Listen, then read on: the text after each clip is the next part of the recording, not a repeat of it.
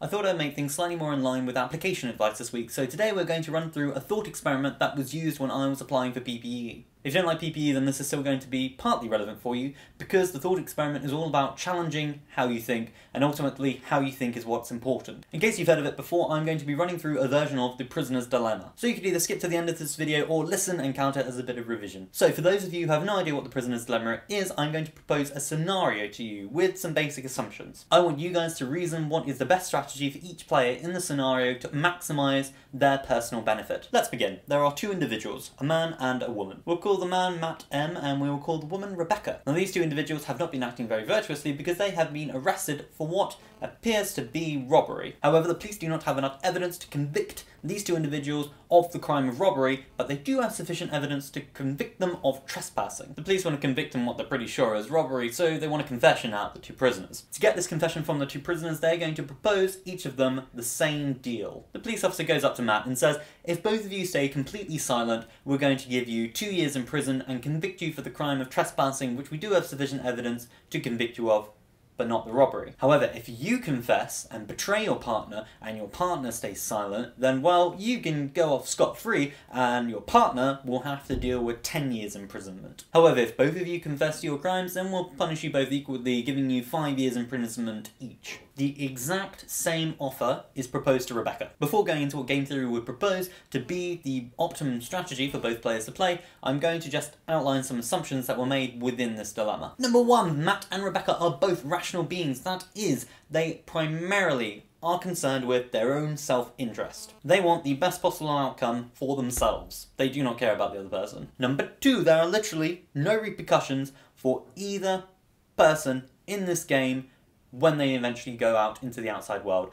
Rebecca is not going to hunt down Matt for betraying her in this prisoner scenario. And number three, probably one of the most important assumptions of this model, is that neither of them, Rebecca nor Matt, can communicate with each other to cooperate on a strategy that will work in both of their interests. I want to give you guys a go at figuring out what you think the best possible strategy is for each of the players, Rebecca and Matt. So why don't you take the information that I proposed earlier and as a hint, drop a table of the possible outcomes. Remember that each player is trying to choose the outcome that is in their own best interests. And while you pause the video and think about this, I will pull a funny face.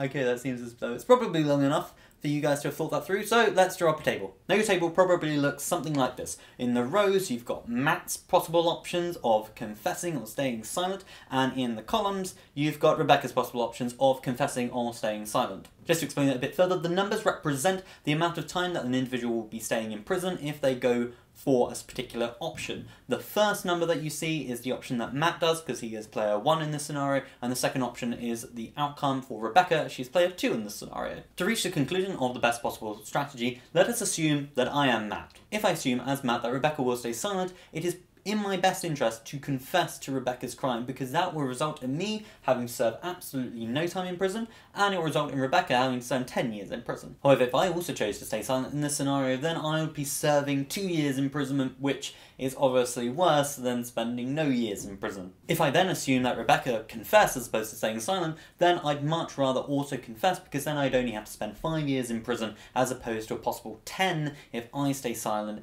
and she grasses on me. As the problem is symmetrical, that is, the best possible option for one player holds true for the other player, confessing is also the best option for Rebecca regardless of what Matt chooses. This is because Rebecca will play in exactly the same way as Matt because she is also anticipating what options he will take. Now does something strike you as odd that the best possible option for both players is the one in which they both confess, the one in which that they're both serving five years in prison. I hope it does, because upon just an initial observation, you can see that the best possible option for them is the one where they spend only two years in prison, which is where they both, you know, stay silent. However, because of our assumption that both players were rational, it's the temptation to betray the other person to serve their own best interests, or the potential of serving absolutely no years in prison, that leads them to conclude that the best strategy for them to play is the one in which they both confess. But this is obviously a worse case scenario than the one in which they both stay silent and they only have to serve two years in prison. Now why am I bringing this up? Well, the first reason is because I just want to warm up your brain a bit, and because I wanted to show you how game theory can be applied to numerous different scenarios and numerous different disciplines.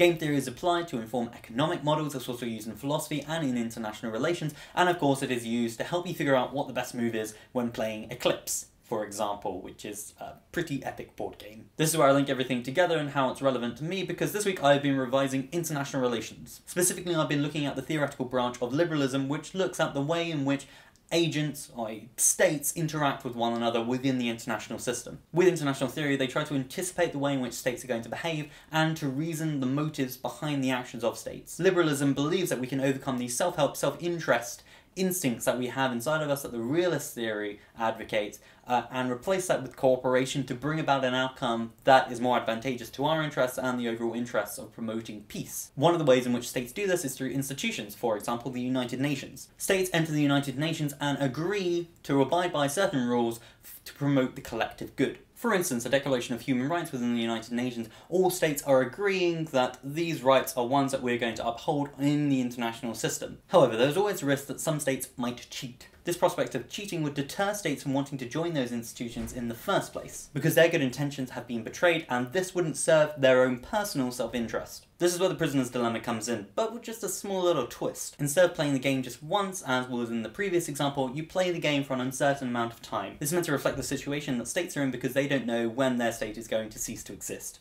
it has been reasoned that the best strategy for the states in this situation is to play a tit for tat strategy. I'm going to the details for the sake of time and I'll add some more details down in the description, However, in essence, it involves that one player will always cooperate unless the other player betrays them. This is because cooperation, on the whole, is better for them. It promotes their own personal interests, and it would also promote the interests of the other state. However, if the other state betrays them to try and gain some sort of edge over the other player who is cooperating with them, then the next move of the person who has been betrayed will be to betray that person to teach them that they can't get away with this. This is meant to show them that if you betray this person, well, we're going to betray you, and that's not the best outcome because if we had been cooperating for the long run, it's going to be to our mutual benefit. For instance, if you form economic ties between states to promote your own economic prosperity, or alternatively, you could betray the other state and pursue military conquest, which will result in you having to pay the blood price to pursue this interest that ultimately isn't really going to pay off in the long run because number one,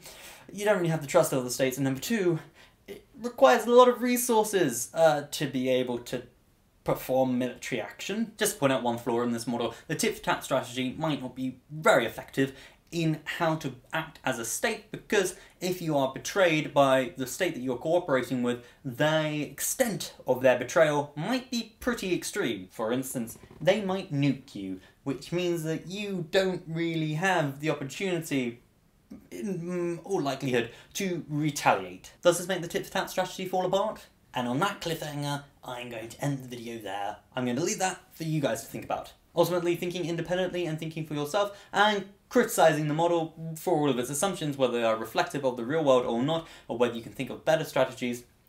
That's basically what it's like to be interviewed at Oxford and to do a degree at Oxford. I'll add some links in the description for you so you can get some more information about this brief introduction to game theory. And next week I'm going to give you guys a bit of an insight into what I'm doing to actually revise, um, and hopefully there'll be some tips in there that you guys will also find useful. So, see you on Sunday, subscribers. Welcome to the end screen! The Oxford Design Competition ends at midnight tomorrow. That is Monday, so get your entries in as soon as possible. Here is a video with all of the information that you need if you would like to enter. Also, as a sort of Easter egg, Rebecca and Matt M are actually real people. Uh, they are top fans to this channel, so I thought I would give you both a shout out. Uh, sorry for accusing you of criminal activity. Um, I'll be including top fans randomly in videos. Top fans are decided by people who interact the most with the content on this channel, so if you regularly comment, like, or share the videos, then you'll be sure to feature in a video soon enough.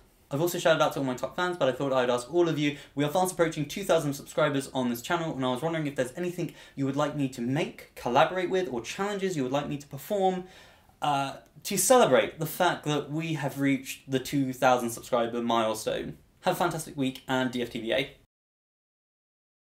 Bruh. Oh, I can't believe I didn't say that right. Bruh, bruh, bruh. I was trying to say blood.